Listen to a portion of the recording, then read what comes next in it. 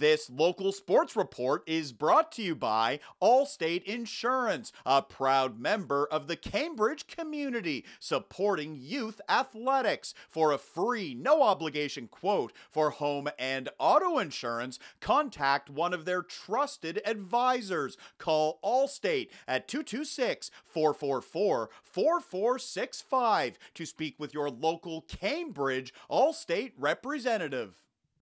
U16 hockey on Sunday afternoon in Cambridge. The hometown Hawks facing the Brantford 99ers at the Galt Arena Gardens. And what a start for Cambridge. 46 seconds in, Reed Forster is at the point. He fires. The rebound is there. Drake Neal scores. He puts it in, giving the home side an early 1 0 lead. A few minutes later, the 99ers answer. Here comes Lucas Carmiris. He dishes off, goes to the net, and buries it. Nice feed from Merrick Vanaker. Brantford pulling even. It's 1 1, and the 99ers keep coming. Big scramble in front of the Hawks net. Loose puck. Lucas Carmiris scores his second goal of the period. The 99ers captain giving his team their first lead 2 1 Brantford after one. Second period now from the faceoff. Drake Neal, quick release, scores. Have yourself a day, Drake Neal.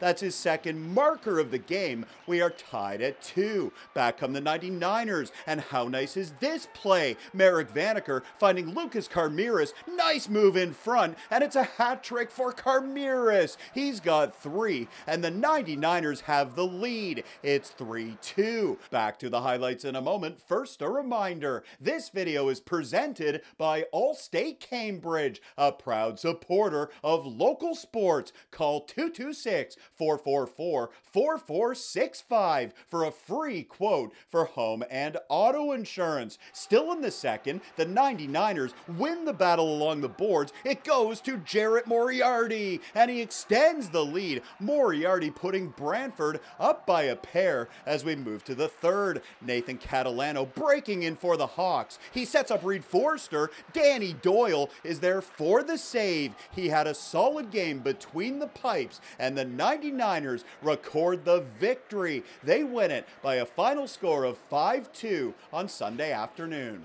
For more highlights, visit our website, 519sportsonline.ca. Be sure to subscribe to our YouTube channel and follow us on Facebook, Instagram, and Twitter.